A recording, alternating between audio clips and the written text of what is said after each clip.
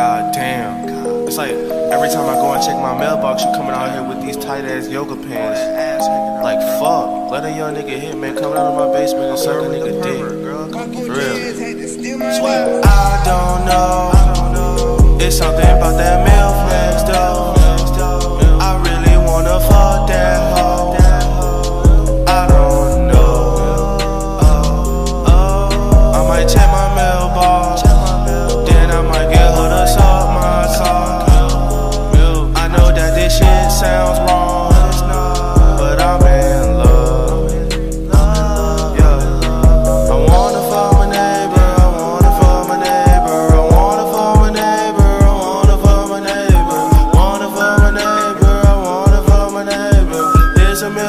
MILF. It's a lady.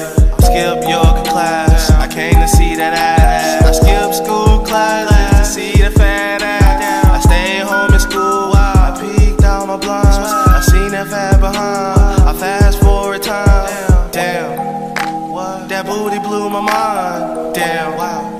Never seen a MILF so fine. Bitch so bad, but she like 59. I still wanna find that bitch and put on badpage.com. Yeah. Um, she just she she got a fat fat ass, lost some big ass titties, and I just been in love with her since we moved in. Like I'm never moving out. Fuck, man, suck my dick. I don't know. It's something about that MILF